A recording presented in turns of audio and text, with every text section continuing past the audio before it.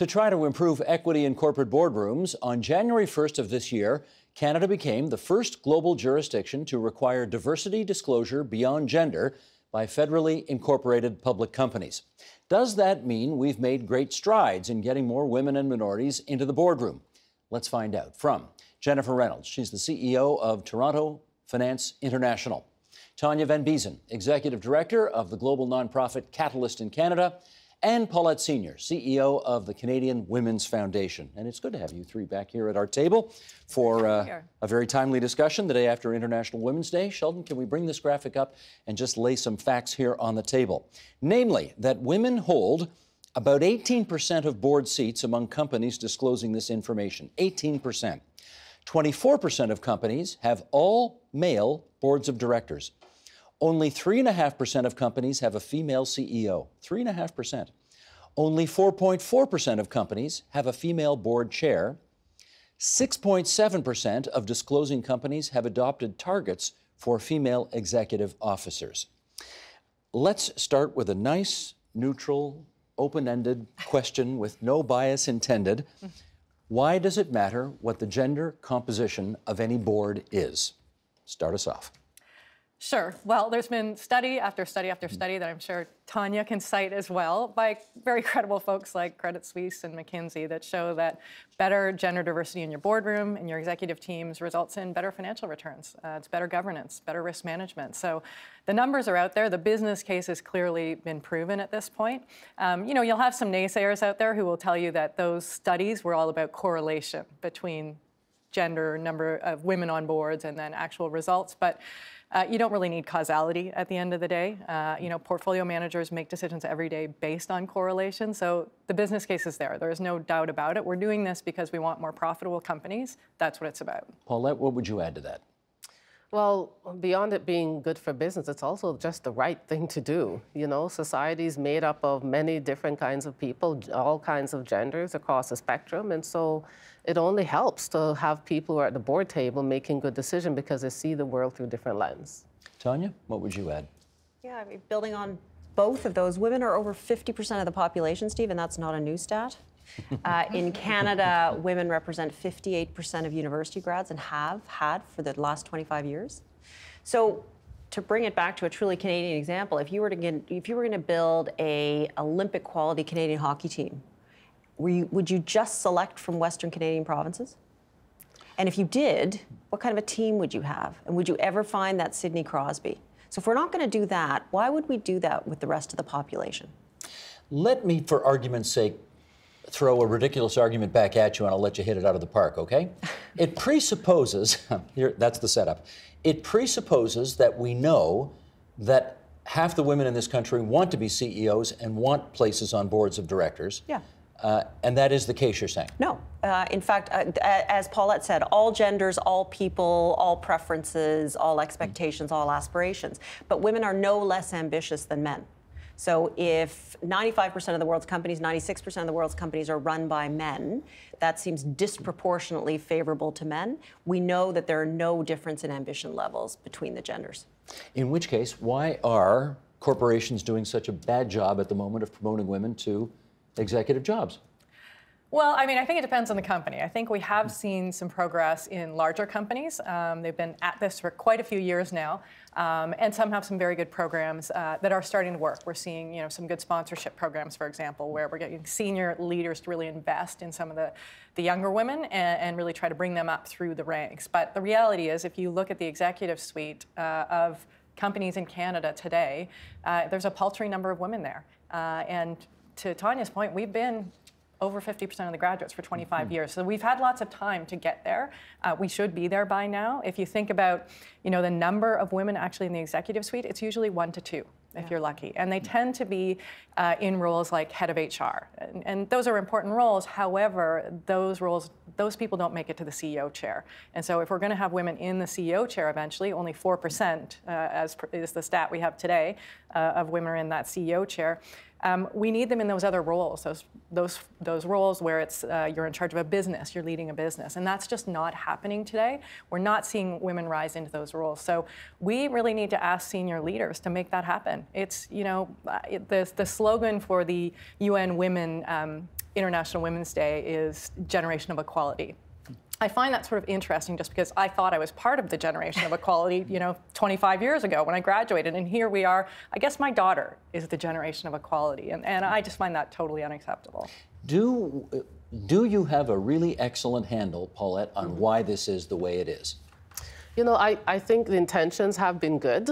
Um, certainly, the, the, the talking points have been clear around the desire to make this happen uh, by a number of different CEOs. But uh, beyond that, the, I think the biases have been so entrenched for such a long time as just the way to do business that uh, going beyond that hasn't been the case. So there hasn't been any intentionality beyond good intentions to make it happen.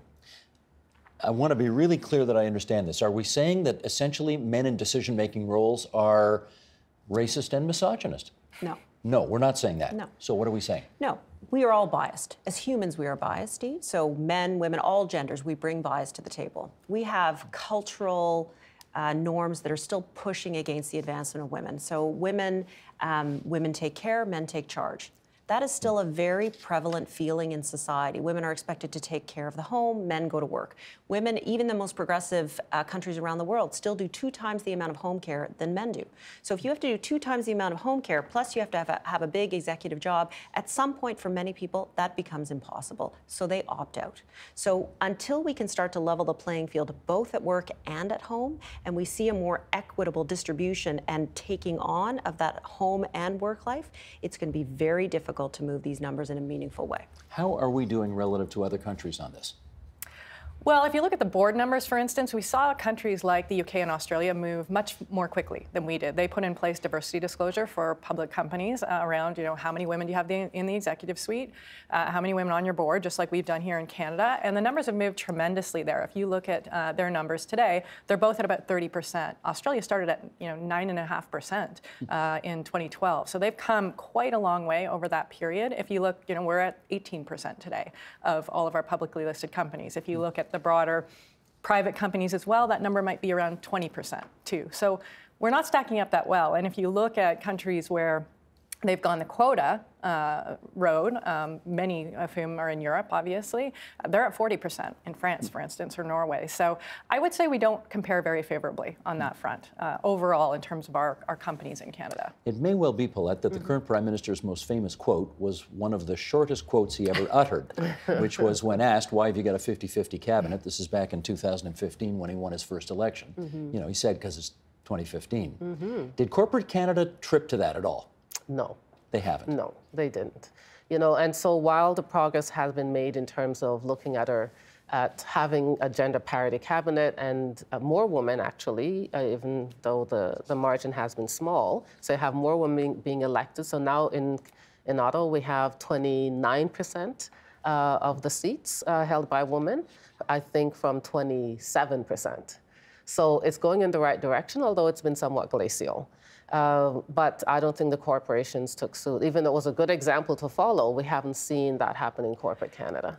Yeah, and I would add to that that the dynamic in Canada too is that we're an economy of small and medium-sized businesses. Mm-hmm. You know, we don't have a lot of big companies like we have in the U.S. And so where we're seeing those spots of you know good good things happening, those are the big companies. But we've got a much broader economy where, to, to Paulette's point, I don't think anyone's listening on this front and really trying to really trying to make progress in the vast majority of companies unfortunately we've essentially been talking about the private sector so far but maybe can you can you tell us whether leadership in the public sector is any better than it is in the private sector on boards in the c-suite et cetera public companies yeah, yeah. no no no uh, public sector nonprofit Non- uh, yeah. Yeah. So uh, nonprofits are really interesting beast yeah. because you mm-hmm. find an overrepresentation of women in the nonprofit sector at the board level, uh, and in the staff levels. If you look at CEOs, they are predominantly men. And if you look at the compensation of those CE- male CEOs versus female CEOs, they tend to out, earn the women. Mm-hmm. So the nonprofit sector, where you would hope to find a more pure activation of what is right and good for people, actually also suffers from the same biases that we see in the corporate world. Hmm. I, I, just think of our own example here. I mean, TVO is a public agency, it's a public sector uh, organization uh, for the last, well, how long's it been? I think for the last 14 years, 13 years anyway, we've had a female CEO. Uh, we are very accustomed here to being led by CEOs. The acting CEO right now is uh, female as well. Uh, it seems to be the case that the public sector is more prepared to give women a shot at leadership roles than the private sector. Any idea why that is? Feels that way. Yeah, I mean, listen, public sector companies, if they're agencies of governments, Yeah. then they tend to be under more scrutiny, right? So we have we have new legislation in Canada now under the Canada Business Corporations Act that is looking at a broader range of representation for all people. Um, so there is greater scrutiny, which has pushed. Frankly, legislation does push people along. Um, and so I think we see that as a reflection in the public sector, although there's still more work to do even in the public sector. Can I get our director, Sheldon Osmond? Would you mind? That's what I wanted a, a wide shot, please, because I want to do a little, okay, show of hands here. Okay. of the boards of your organizations, do any of you have close to gender parity at the moment? Hands up. You do. You do. I have all women. You have all women. so that's not parity, that's in charge. Okay. Uh, do you sit on boards outside your organizations? Any of you? Yes. Yep. Gender parity on those boards? No. No. For you? Uh, yes. Yes, gender parity Yes, on the boards? yes, gender that you sit? parity. Are they private or public companies? Uh, nonprofits. Nonprofits. Okay, there we go again. How about for you? No, no, and nonprofits. No and no. Okay. How about CEOs? CEOs? Hmm. Female or male? mix. Male. For me, it would be 50-50. For you, it's male. Yes. Female. Female. But again, in the nonprofit sector? Yes. Yes. Okay. Uh, let me read this here. The Toronto Star did a survey a few months ago, and they found 25, among 25 of the top cultural and nonprofit organizations of the city, there was an average 40% women on those boards. Mm-hmm. So, what are they doing right that apparently others are still not doing right? Steve, those jobs are not paid. Ah, Those are beat me unpaid, volunteer, benevolent positions. Yes. Right? So we have to be careful because women are overrepresented in these unpaid, Unpaid. volunteer mm-hmm. roles, mm-hmm. which are wonderful roles and are hugely needed in society. But as you think about a woman's life and life cycle and her earnings over time, it is critical that women not be overrepresented in underpaid or unpaid roles because they are, in fact, the fastest growing group moving into poverty. Hmm. So here I was all excited about the fact that there I'm seemed so to be a lot of progress Yeah. there, and it's not the case. Not a if you want to direct work for free, you can be overrepresented. Yes. Yes. Ah. exactly. You may even it. get parity. Okay, I got it. I got it. Okay, well, let me follow up with this, uh, Paula. At the beginning of the year, the diversity disclosure laws in this country became broader. What's now required? So, uh, um, uh, people from visible minority communities, uh, along with women, of course, um, people with disabilities, uh, indigenous people would also be important. And what am I missing? Nope, those are the four That's it. groups. That's it? Oh, that's great. I And which companies, 100%. which com- uh, companies are now subject to these requirements? So I think it's uh, uh, corporate companies at a national level uh, that are subject to that as well. Yeah. Yeah, so Tanya? it's all it's all companies that are regulated under the Canada Business Corporations Act. Yeah. So everyone that falls under that act, which is about 235,000 companies across the country, Mm-hmm. will fall under that act. And to Jennifer's point, it actually captures a much broader group of companies. So Mm-hmm. not just the larger ones, but actually ones that trade, you know, the smaller ones on the TSX, as well as those trading on the venture exchange. And what does it oblige these companies now to do? It, it's similar to the comply or explain legislation, or sorry, regulation of 2015. It asks companies to declare the number of people in the mm-hmm. groups that Paulette just represented at the executive level and at the board level. And if now, they don't? can, and if they, so you can comply or you can explain. Yeah. Mm-hmm. And my mm-hmm. guess would be that in the first couple of years, we're going to see a lot of explaining because many companies are not yet ready to declare those numbers. In fact, they may not even know them because hmm. they are not tracking that data. And explain to whom? Uh, so that will be reported back to the government, and I suspect the government will, will make that, will have a mechanism to make that information public to the general public. I mean, the, the idea obviously is it's it's a shaming game, Name right? shame if, if you're going to get your numbers out there, they're not going to look good. Uh, Hopefully, that will cause people to do something about it. Um, I think the question is: is do those companies, do the boards care? Uh, if, if their numbers aren't good, are the people on that board really going to care? Uh, so that's the question. I don't think we'll see a lot of movement, quite frankly, uh, for the first couple of years. I think until you know you've got a board that cares, you have shareholders, you've got some sort of public outcry that this is not acceptable to Canadians. Uh, I don't think we're going to see a, a lot of movement here. Um, clearly, it's unacceptable to me and to the other women at this table. Mm-hmm. Uh, the question is how do we represent the broader society right now? That it's really critically important to everyone else that women are in leadership roles in the economy. You think boards don't care? Uh, I think some do, and I think some don't. They haven't frankly. yet. we, haven't, we haven't seen a groundswell of activity across the economy.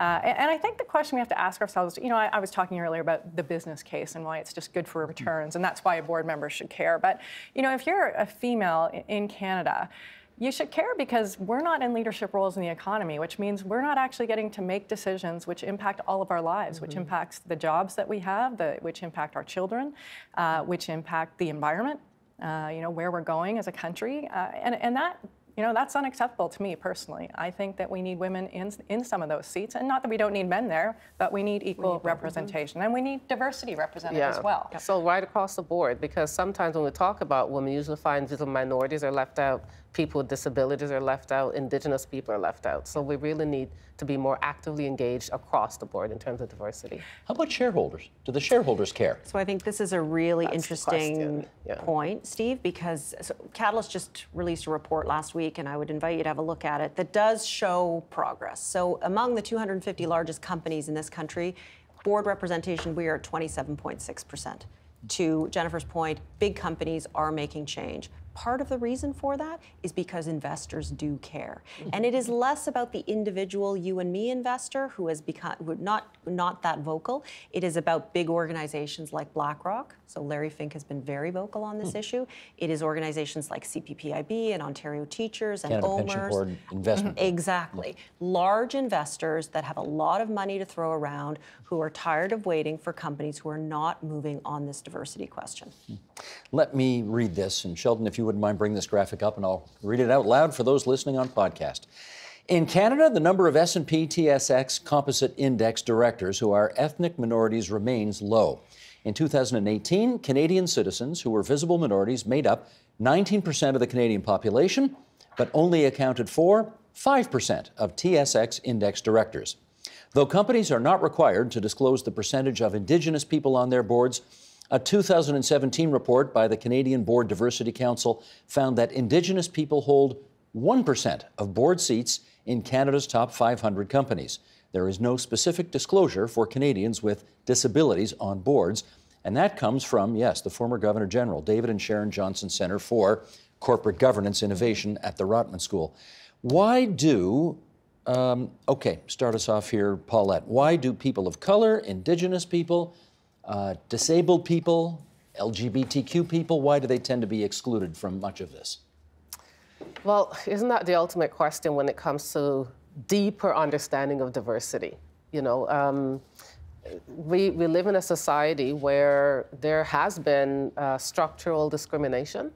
Um, and so it's no surprise that this is reflected everywhere, including uh, on boards. You know, so, so we have a particular issue to overcome beyond gender, uh, as well as inclusive of gender. You know, so uh, I think it's important that as we think about gender and, and, the government starts to look at this much more closely, and us as organizations and individuals who've been working on this issue, that we need to speak about gender in terms of intersectionalities as well. So not just in terms of uh, one kind of person, but also think about it in terms of how can we work together to actually reduce the multiples of biases that exist uh, that prevents us from being able to move forward, particularly with this issue of, uh, of diversity on boards. Jennifer, is it possible to solve all of these problems at once?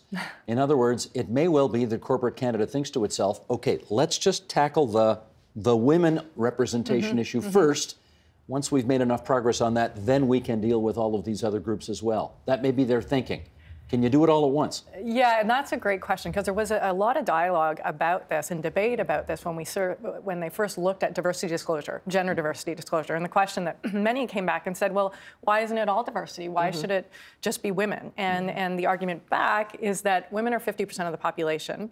Um, we really need to, if we can't crack that nut, why don't we start with that? Let's crack that nut and then let's move on to broader diversity. The other thing is that, you know, I think if you're doing really good things around gender diversity and instituting policies in companies that break down biases, it tends to have a, a good effect overall, generally, I think. And, and, hopefully the feeling was that it would ripple through and, and impact overall diversity. Um, I think the feeling has changed now. I think that people are wanting to focus on broader diversity and not just gender today.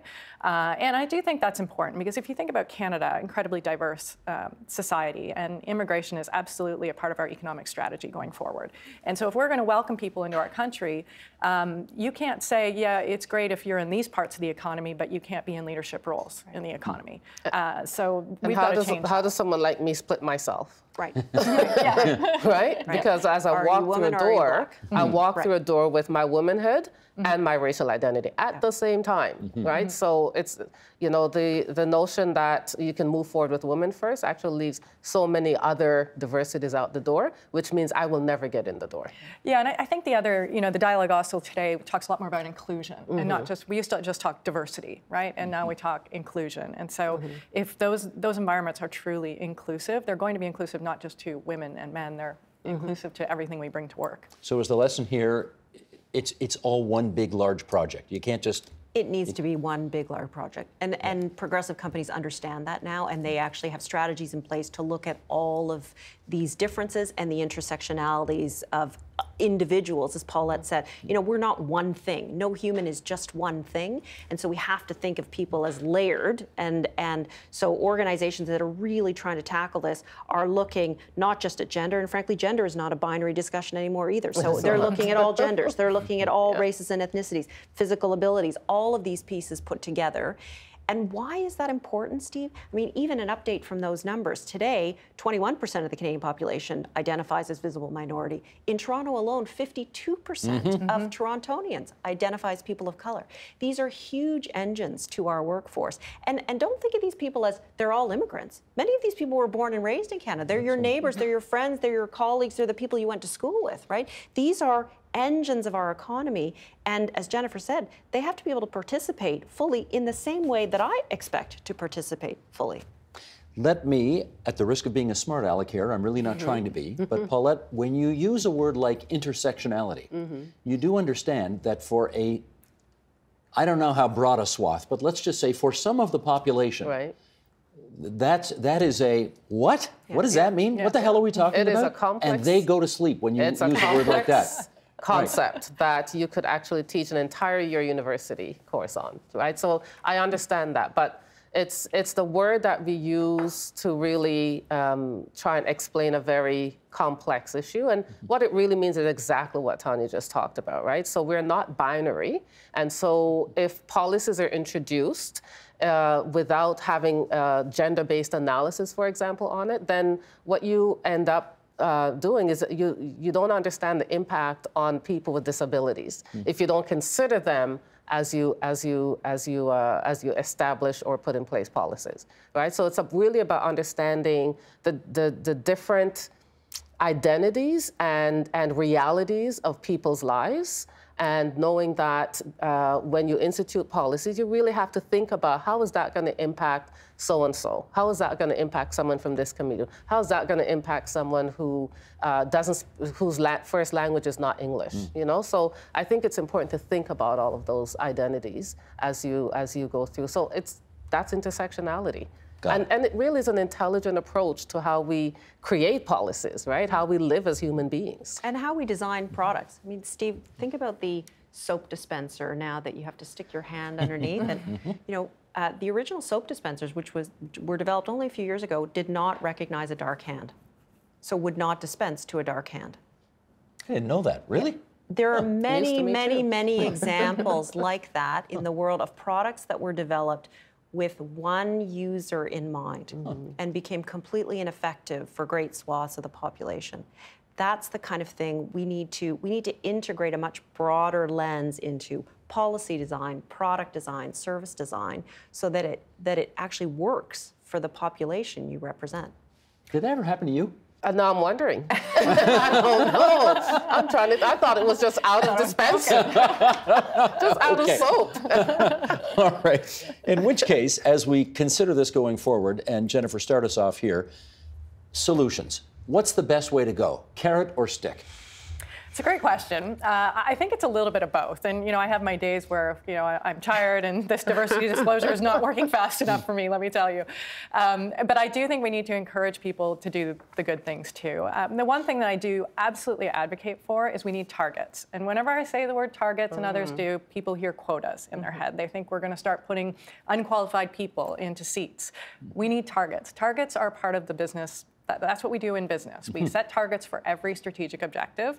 We strive towards it. Sometimes we make it, sometimes we don't. And, and then if we didn't, we figure out why we didn't, and then we fix it. So, uh, as, as you noted earlier, not a lot of companies have targets, despite the fact that the disclosure has asked people to say, Do you have targets? Most have said, uh, they've gone silent or they said we don't have targets. Uh, they're very uncomfortable putting targets out there, but I don't think we'll get there unless we have targets. And yes, that's going to be embarrassing for some because they're not going to hit them and they're going to have to explain why, but that's just the life of being a CEO, basically. Tanya, targets or quotas? Both work is mm-hmm. the reality. Both work. We've seen le- uh, qu- mm-hmm. legislated quotas in Europe that clearly work and that have driven change. Uh, we've also got great examples in Canada where targets work. You know, the banks are a great example, but I would also pull out another example from an industry you might not expect, which is Enbridge in the oil and gas sector. They set very clear targets for women at the board level, and they're at 45%, hmm. right? And as Jennifer said, you set a target, you may not meet it every year, you diagnose, you evaluate, you redirect, and you figure out how to get there. Their CEO is female as well, I think. No, their CEO is a man. Is he? But that's a well. And it's possible. Yeah. There's yeah, one. There yeah, there is one woman CEO in the oil and gas sector or of, of the oh, larger companies. Okay. But nonetheless, they both work. Uh, it's a question of how much intentionality you have behind a target and how much you're actually driven to hold yourself to progress, measure progress, uh, and figure out if you don't hit it, what you're going to do to get there. Hmm. And, and I think intentionality is all about putting that in people's performance goals. Yes. Right? So mm-hmm. making sure that those at the top who are responsible for delivering on this have it as part of their performance goals and part of how much they actually get in terms of increases every year. Right? Do you worry about whether or not a woman who is appointed to a CEO's position or to a board of director position, uh, how much they have to deal with the issue of, well, you're just there to fill a target or you're just there to fill a quota? Well, unfortunately for CEOs, that's the first thing people, that's the first observation because there's so few female CEOs. Mm-hmm. That comes up right away the minute there's an appointment. Um, in terms of the board, this whole argument of we can't find women of merit for board positions in Canada is just a joke. There are so many qualified women out there. So if people are saying that, then that's just a case of, of, of bias uh, or chauvinism, whatever you want to call it. Uh, there are lots of qualified women out there, and I think we really have to get over that because the minute you put a woman on the board, she's going to prove that she's qualified. And everybody around that board table is then going to understand that she's very qualified, and that whole argument goes away. The other thing that I will say is, you know, the, the um, quota issue. This always comes up when you talk about quotas, right? Well, that's going to result in all these unqualified women getting onto boards, obviously. Um, the reality is, is if you talk to women who are on boards in Europe where there are quotas, they'll tell you the issue went away because once there was 40% at the table or whatever the number was, um, men, you know, these women proved themselves, and the men at the table all of a sudden understood that they had some very qualified partners at the board table with them. I can't remember which politician said it, but but one one smart female politician said once upon a time, you know, what's wrong with putting a few unqualified female politicians in those places? We've had plenty of unqualified men doing these jobs forever. Yeah. um, how do you bring Paulette? How do you bring women along so that they can be seen as viable candidates for senior roles in organizations? Well, first, let me just say I think there are many qualified women out there, mm-hmm. um, but we also do need to address the issue of some women not seeing themselves as being in those roles, exactly. you know, and you know, particularly when you think of girls growing up and being socialized in this society where they're not seeing themselves as prime minister, as uh, CEOs and heads of large or even medium-sized corporations. So, uh, you know, I think there are a number of things that, that we can do. At the Canadian Women's Foundation, we actually have uh, have done programs to promote uh, leadership, both in girls and young women and women. So whether it's an leadership institute that we've created or whether it's uh, programs to empower girls to see themselves as leaders, mm. I think it's important. And sometimes you just need to see it to be it. I, we've got about a minute left here, Tanya. Let me ask you about that. It's well known in politics that if you want a man to run, you got to ask him once. Yeah. If you want a woman to run for office, you got to ask her between three and seven times before she'll entertain the idea. Yeah. What do we do about that? Same dynamic in corporate world. Yeah. But part of what we need to do is we need to start earlier with our young women. Mm-hmm. Girls are socialized to be perfect. boys can fall, they can get dirty. We we celebrate that. We laugh at that. We girls are socialized to be perfect. That need to be perfect permeates all areas of their lives, our lives as we grow older. So we need to start intervening earlier on. But to Paulette's point, you need to see it to be it. We need more role models. Mm-hmm. Representation matters. We need to see more women in leadership positions.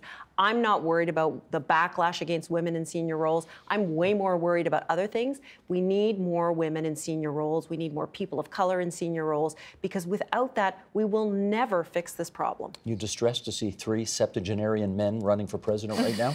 uh, it is stunning. It is. Mm. Where did all the women go? It is stunning. Where did mm. all Where did all the people of color go? Well, I mean, I'm not an American. I don't have to vote, but I'm distressed at what we're left with. That's for our next show. That's Tanya Van Biesen. She's from Catalyst Canada. We also thank Jennifer Reynolds from the Toronto Finance International Group and Paulette Senior from the Canadian Women's Foundation for joining us here on TVO tonight. Thanks so Thanks much, everybody. Thank you. The Agenda with Steve Paikin is brought to you by the Chartered Professional Accountants of Ontario. CPA Ontario is a regulator, an educator, a thought leader, and an advocate. We protect the public. We advance our profession. We guide our CPAs. We are CPA Ontario. And by viewers like you. Thank you.